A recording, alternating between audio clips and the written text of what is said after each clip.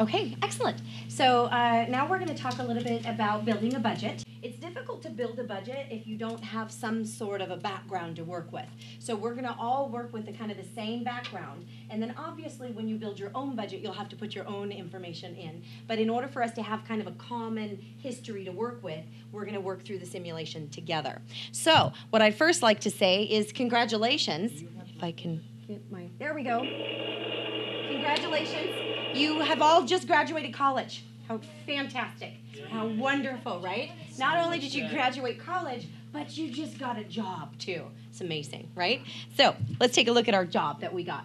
So you got a job from big time company, and this job is going to pay you $45,000 a year. Yes, fantastic. So now, unfortunately for you though, $45,000 a year, let's say you get a monthly check, that's going to be 3,750 a month. Do you get to bring that home? Of course not, right? Yeah, Uncle Sam's going to take his cut. You're going to get state and federal taxes that'll come out of that. You'll have to pay benefits and things of that nature. You'll probably end up netting about $2,500 a month. So that's going to be our net income that we're going to work with when we build our budget. And let's say that while you were going through college, you did really good. You were saving money for your future. You got some uh, friends and relatives that gave you some monetary gifts when you graduated college. And because of all of that, you were able to save $7,500. So you have 7,500 sitting in a savings account, and you got this fancy new job earning $2,500 a month in net income. So, your challenge when you build a budget is how are you going to be able to live comfortably, right? Make your payments, uh, make all your loan payments and your monthly bills, and still be able to save money. That's our challenge. All right, now, first things first, though, right? You just got a brand new job, you're going to move to a whole new city, you got to rent an apartment. All right, now, a couple of things we have to uh, factor in this apartment that we're going to rent. Um, we're, we are going to be living in a major metropolitan area that is not near our parents. So, unfortunately, living with mom and dad is not going to be an option, all right? So, we got to find our own apartment. And you don't have any friends or family that live in the area either. So, you're not going to be able to live with them either, okay? So, you do some searching. You find a nice apartment in a nice apartment complex, and um, you find this apartment for $1,000 a month and they're going to charge you a $1,000 security deposit. But if you damage the apartment in any way, um, then the security pos- deposit is held to be able to pay for those damages when you move out. Uh, when you move out, if you don't hurt the apartment at all, would you get the security deposit? You're reading my mind because that was my exact next comment. She's exactly, what's your name? Sarah?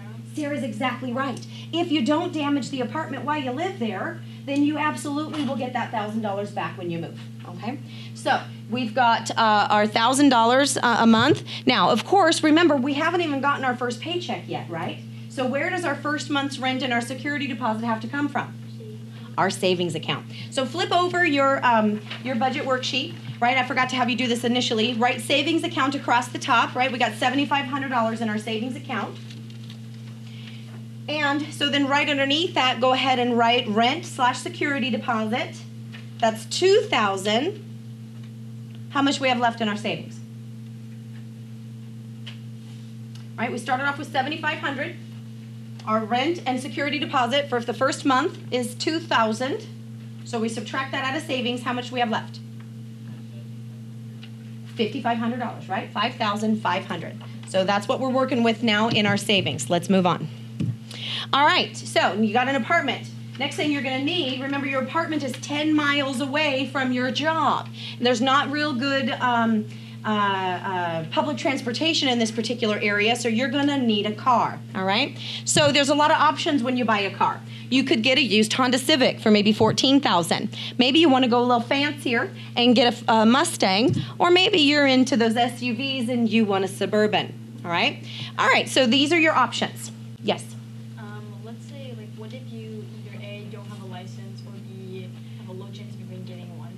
Well, then you wouldn't be able to buy a car, but remember, we're doing a simulation, so we're all going off that same information. Because we have to have kind of a common history to be able to build a budget together. Otherwise, when you do your own budget, obviously, if you don't have a driver's license, you're not going to be able to do this particular piece of it. Yes? Are we in a situation where like there's no trains around? Right. like, No buses? good public uh, transportation, so you got to Okay. get a car. Yeah. Yeah. All right, so you decide you're gonna put four thousand dollars down on the car. You haven't gotten a first paycheck, where does that come from? It does gonna come from savings. So if you do that, right, then you're gonna, your loan for your Honda Civic will be two hundred and seven a month. Your Mustang will be uh, three hundred and thirty-two, and your Chevy will ultimately cost you four hundred and thirty-five. So which one do you pick? the best mileage. That's exactly right. Because remember, right, we just got our first job, right? We've got only $2,500 that we're working with. Not only do we need to make sure that we're saving money on our monthly payment, but we also need a car that's going to give us good gas mileage because we have to drive 10 miles. That's 20 miles a day we're driving back and forth to work. And so, because we're on a limited income, my best recommendation in our simulation would be the Honda Civic. So, on your budget worksheet, write $207 down for your car payment. So write thousand dollars for your rent. We already know that. And you got, uh, and this is on the front of your budget worksheet, right? So we'll put thousand dollars for rent, and now we're going to put two hundred and seven dollars in for your car payment. All right. So how does this impact our savings account? Right. Go to the back of your budget worksheet again. Write down payment, four thousand. How much you have left in your savings account? Fifteen hundred. Ah, man, that goes fast, doesn't it? We just had 7,500. Now we're down to 15. It's all right. All right. We're getting there. Okay. So now you've got an apartment and a car, but you have nothing in your apartment. All right. Well, you got to get a few little things to build your apartment, right? You got to furnish it. So you got to ask yourself a couple of questions. When you furnish your apartment, are you going to go to a furniture store? Or are you going to go to a discount store? I was Goodwill's best customer for the first 10 years after I moved out of my parents' home. Right? Everything I bought was at Goodwill. So there's no shame in going to a discount store. I love it. The Discovery store over off of Branham um, is one of my favorite stores, Branham and Almaden. I still actually go there to this day. All right, so let's say that you are going to allow yourself to spend $1,250 on furnishing your apartment, okay? Because we got a budget, we got that in our savings account, so we're gonna work with that as our budget. But if you're able to make some smart decisions, maybe you don't even have to spend that entire 1250. So let's see how that works. So the first thing that you want to get, of course, or, or um, let's see, let's get this thing to come. So what are some ways that you might save money when you're furnishing your apartment? One of the first things that you need to get is a bed. So you've got some options, right? You can get a mattress, or you can actually get a real bed, or even an actually fancy bed, right? What do you pick? Well, hardwood floors are probably good for your back, so. How much is an air mattress? Right. These are the things you have to think about. Right? Again, we're just barely getting started. So the best bet here is to start low. We don't want to blow our entire 1250 just on the bed. We have a lot of other things we need to furnish our apartment with. So the best option is to start small. Get a mattress with a tiny little frame. Again, you're working your way up. I, I lived on the twin bed that I grew up in my entire life for the first 10 years before I was able to buy another bed.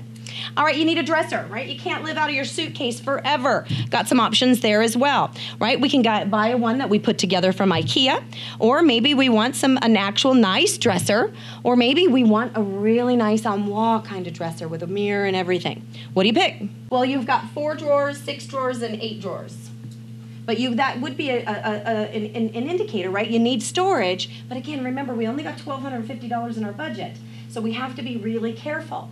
I bought my first dresser from Target for 40 bucks. It came in 5,000 pieces. But that thing, I used that thing for 10 years and it was great. It worked really well. My recommendation again, we need to save money. So I would recommend that we purchase option one. And, uh, and so right now we've spent three, 450 of our budget. The next thing we have to get is a nightstand. Maybe. I can't get my computer to respond to me. Do you need a nightstand?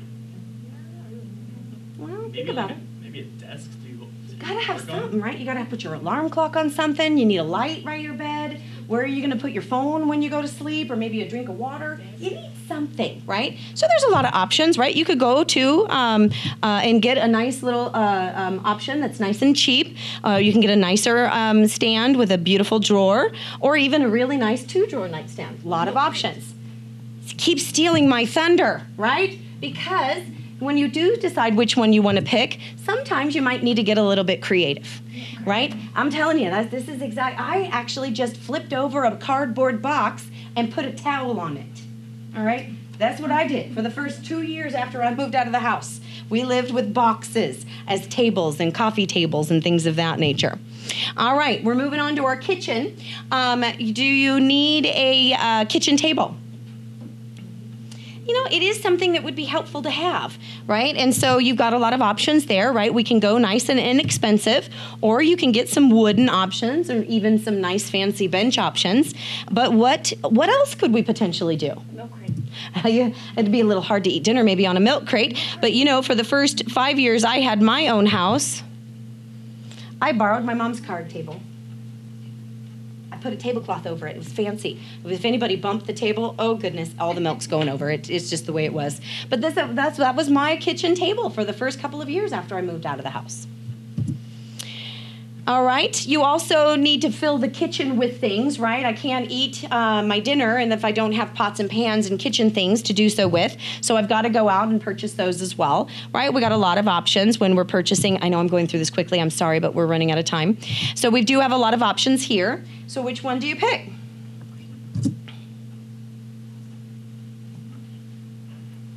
I didn't pick any of these when I moved out. I went to Goodwill. I got a pot, a pan, um, some bowls, some mixing spoons, and uh, I got everything I needed. It was 15 bucks. I'm telling you, I was, like I said, Goodwill's best customer when I moved out of house. They've got tons of stuff. And so, and it doesn't just have to be Goodwill, but any kind of a discount store, right? And so, anytime you're able to be frugal in your budget, that just leaves more money in your savings account. So, these are the kinds of decisions that you have to make when you're trying to furnish your first apartment. All right, you do need a couch as well for your living room. Maybe. Come on. There it is, it's coming. All right, so when you furnish your living room, you got a couple of options there as well. I'm a big fan of the futon, right? It's a nice, cheap option, especially if you've got a um, studio apartment. Because what could this also be? Hallelujah! Save 350 on that side because that's only 200. Now I got a couch and a bed. Awesome, right? But you got some other options, right? We can go fancier. Uh, we can do I mean, a leather recliner and blow our complete budget. So which one do you pick? Absolutely. Right? Again, we're trying to go cheap. Remember, we did have a budget of $1,250 to furnish our apartment. So let's go back to our savings log on the back of our worksheets and put furnish furnishings is 1250. Again, if you were able to make some better decisions and be a little bit more frugal in your shopping, maybe you don't have to spend the full 1250. But again, we're doing our simulation, so we're going to put 1250. How much is left in our savings? My God, we started with 7500. All we did is get an apartment, buy a car, and furnish the apartment. And now we still we only got $250 left in our savings. Again, if we were able to make more frugal decisions, we might be able to have a little bit left over in there. All right, so now that we've got, we're ready to go, we're going to get our very first paycheck. Let's budget how we're going to spend that first paycheck. So turn back to the front of your budget worksheet. Our first two sections have already been completed for us, right? So the first one was rent, right? We said that was a thousand, and then our car was two hundred and seven. So next one is car insurance. The industry average for um, uh, students just out of college is about $233 for your insurance. We're just going to use that. If you can find a better insurance policy, you can save some money here. But again, we're just using an industry average. So 233 for your insurance. How much do industry experts recommend that you save every month? That is exactly right, 10%. So our salary, right, is $2,500 a month. How much should we be putting into savings?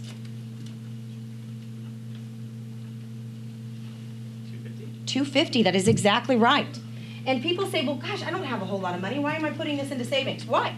Why do you want to put 10% of your, your money into savings? Rainy day. rainy day? But what also are you trying to do? Do you want to live in this apartment forever? Do you want the honda used honda civic forever?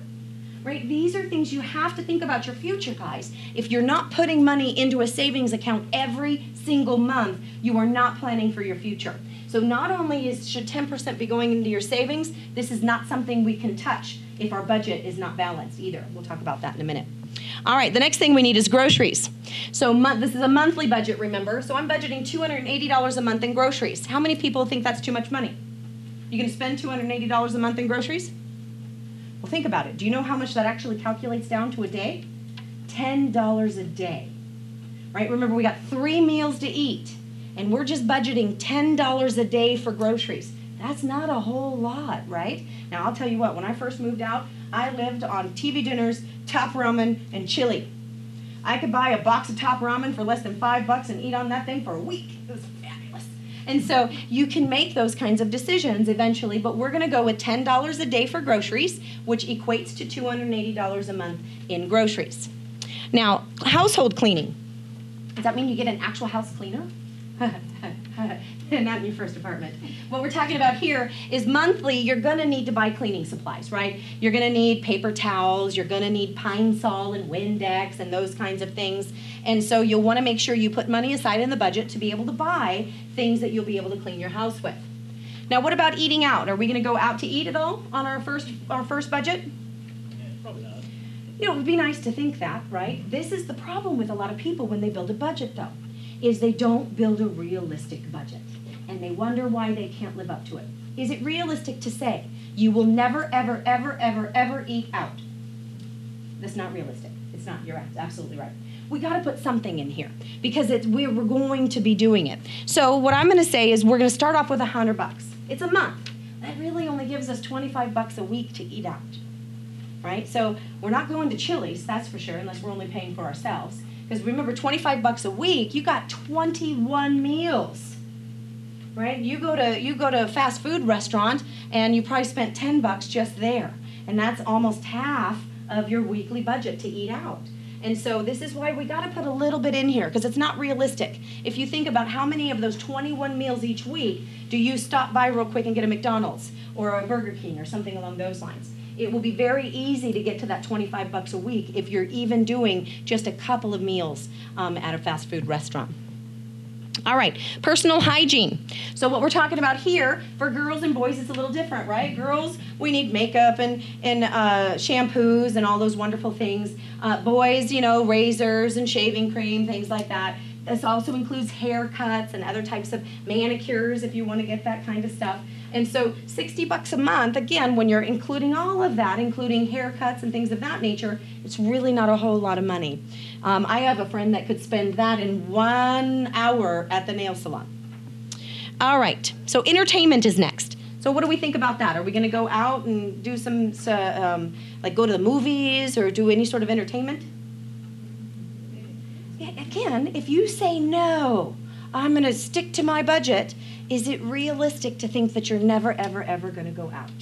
Right? It isn't, right? And this is why a lot of people's budgets don't work because they don't put things in the budget that are realistic. So let's budget 60 bucks. That's not a lot. We're talking $15 a week. That's one movie. And you may not even get any popcorn, right? All right. So the next thing is clothing. Do you have to buy clothes every month? Maybe some of us do. No, no, I don't. I'm just kidding. Uh, but do your clothes last forever? No. This is why a realistic budget not just plans for what I'm going to spend this month, but you're also planning on things that you know are going to happen. When your shoe falls apart, I'm sorry, that's not a surprise, right? Your shoe has been falling apart for quite some time, and you just keep ignoring it. I recommend that you put $25 a month into a savings account in order to be able to buy clothes when you need them. So your shoes fall apart so after a couple of months, you'll have $75 in that account. That's enough for a pair of shoes. And then you just keep putting that 25 bucks in. So in a few months, when you have a little bit more in there, then you can buy something else that's worn out. You've got a big fancy job now, and you have to realize that you're going to need to dress for that job. And so you need to buy things that are going to be appropriate for that job. And again, when we get to the end and we need to make some adjustments, we certainly can, but these are not areas that I recommend that you cut out just because your clothes will wear out. And oftentimes, what breaks people's budgets is when it does, and all of a sudden, you don't have the money to be able to do it because you weren't planning for it. Okay. How about your cell phone? Average cell phone bill is about 70 bucks a month. Now, if you find a cheaper one, that's great, but we'll go there later, right? Again, we're doing a simulation, so we're going to say we're spending 70 bucks a month on our cell phone bill. How are we doing on time? All right, so then telephone, that's a landline. Do you need a landline? Maybe not. Let's say, and for our simulation purposes, we're going to need one, so we'll put 25 bucks in there. How about cable, internet? If you're only spending $15 a week on entertainment, you're going to need something else to fill your time, right? So you're going to need some sort of cable or internet access. On average, that's about 65 bucks a month. Okay? Now remember, we got a we have an apartment that's 10 miles away from our house, right? So we're going to be driving 20 miles a day. That's 100 miles a week. Let's say you want to go out on the weekends. We don't have a whole lot of money, so maybe we're just going to go driving. And we we'll drive another 100 miles on the weekend. So that's 200 miles a week. We're driving 800 miles a month, and that's going to equate to about 80 bucks a month in gas. Even with the really nice economical gas car that we bought, which was the Honda. All right. Now you got to pay for your gas and your PG&E bill, and of course in the winter it might be a little bit more, in the summer it might be a little more, and then in the spring and fall it will average out. But they say average first-time apartment users spend about 50 bucks a month on electricity. All right. So now you got to do your laundry. Now I personally don't buy things that need to be dry cleaned because I don't want to pay for it. And so I buy clothes that don't have to be dry cleaned. So, and obviously, in our apartment does not have a washer and dryer, so we have to go to the laundromat. Costs three dollars to wash, two dollars to dry. Do you do all of your clothes in one load? I wouldn't, unless you like pink underwear. And Some people do, but you probably want whites and colors, so you're going to need at least two loads a week, right? That's ten dollars a week. You're spending forty dollars a month just on laundry. Okay. Now, do you need to fix your car every month? No. Are there things that are going to break down on your car? What? Tires could go flat. Tires? Hopefully not on a monthly basis, but what are mm-hmm. things that wear out more frequently on your car? What do you have to do? What kind of maintenance do you have to do on your car regularly? Oil change. Oil changes. Brakes need to be replaced. You got to plan for the tires, the the windshield wipers, all of these things. I love it when somebody comes to me and says, "Oh my God, my tires wore out. I need new tires. I don't have it in the budget. This is so such a surprise." Is it really a surprise that your tires wore out? Are they going to wear out? Then you have to budget for it, people. This is what I'm talking about, okay? So, not every month, but I recommend you open up an auto savings account. And just like we have the clothing savings account where we're putting 25 bucks a month in there, let's put 50 bucks a month in our auto savings account. So, in three months, when we have to get the oil change, we've got money in there. When our car, our tires do wear out, we've got money in there. This is what we're planning for the future. These things happen, people. They're not a surprise, all right? And then, what about hobbies? Does anybody like to do things on the weekend that might cost a little bit of money? My mom's an avid quilter. They just did an inventory of her fabric, and much to her dismay, my dad uh, valued it at about eighteen thousand dollars in her house. She's got eighteen thousand dollars worth of fabric. I'm like, good mother, what are you doing? Uh, but things cost money, right? Maybe you like to, uh, like you're into sports and you got to buy some sports stuff. Or maybe you're into gaming and you got to pay your online monthly gaming fee or whatever that happens to be. Maybe you're into church and you don't want that collection thing to pass by you without being able to put a little bit in there, right? Whatever your thing is, plan a little bit. Figure out what you like to do and make sure you include a little bit of that in your budget. All right? So, once we do that, our total budget, uh, our monthly expenses are 2660. Our monthly income is 2500. Uh-oh. We got a bit of a problem here, don't we? We do. We have a big problem, right? Because we don't have enough money to cover, we don't make enough money to cover the expenses we've already budgeted. All right, we got to make some changes. We got to make some decisions. So, what are we going to do? How are we going to cut our budget? Well, let's think about that. All right, so we said we were going to be. Now, the first thing people want to do is just take it right out of here, right? Oh, if I just cut out the savings account, perfect. I got a balanced budget. Why is that not the right idea? That's exactly right. You can never cut from this. All right, Say, don't ever cut from savings. You need to make adjustments in other areas. If you are not putting money into savings, you are not preparing for your future. Because it's not just a house that you want to buy or a car and a house you want to buy someday. What else do you want to do someday? Vacations. And then eventually, you want to retire, right? And you might think now, oh my God, that's so far away. It'll be here before you know it, people, all right? And if you're not saving for it, you're not going to be prepared.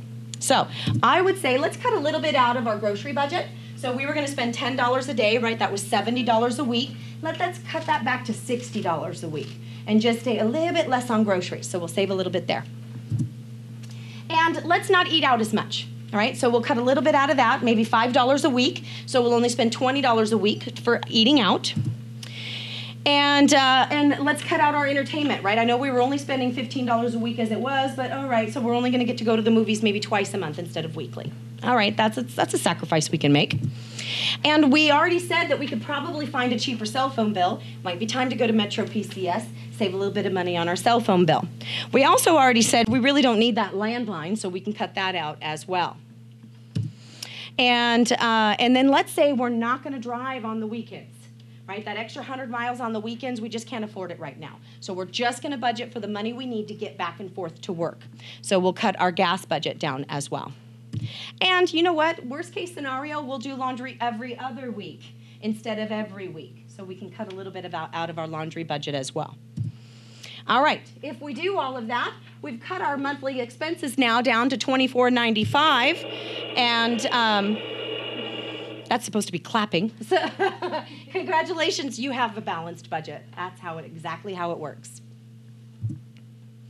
All right, let's talk a little bit more about that. How are we doing on time? Oh, we're going to make it, I think. All right, because remember what our challenge was way back before, right? How do we live comfortably on our salary, yet still be able to save for the future? So, how'd you do? Right, let's look back at our savings account, right? We still have that $250 in savings, maybe more if we were a little bit more frugal when we were furnishing our apartment. And we're putting $250 more each month into that savings, right? So we're able to cover all of our monthly expenses and we're able to save for the future, right? That's how you create a balanced budget. But be careful, right? A lot of times people um, think of a budget as a diet, it's a financial diet. And you've got to make sure you plan for those things that are important. So, a really good budget is going to help keep you out of debt and allow you to save for the future. Because again, we want a better car, we want a nicer house, we want to be able to retire someday. None of those things are going to happen for you if you're not saving for your future. So, having a balanced budget will enable you to do that. The key, though, guys, again, obviously, we were in a simulation right now, so you're going to need to look at your own spending. You're going to need to put these categories in for yourself and figure out what your actual expenses are. But when you do this, and I encourage you to be realistic because we talked a lot about that. It's not realistic to say you're never going to eat out again. It's not realistic to say you're never going to go to those gaming websites again. So you've got to make sure you include things that are going to make you happy um, while having a balanced budget. Because as soon as you take those things out, what's going to happen is you're still going to do them, and then your budget goes out the window, and you wonder why you have to hit your credit cards all the time, and why all of a sudden you find yourself in a really bad financial position. So make sure it's a realistic budget when you put it together. But at least we talked about some of those things that are going to happen and come up so you can kind of uh, remember that it's not just my loan payments I have to budget for my rent, that there's so much more to living on your own than those, those simple things.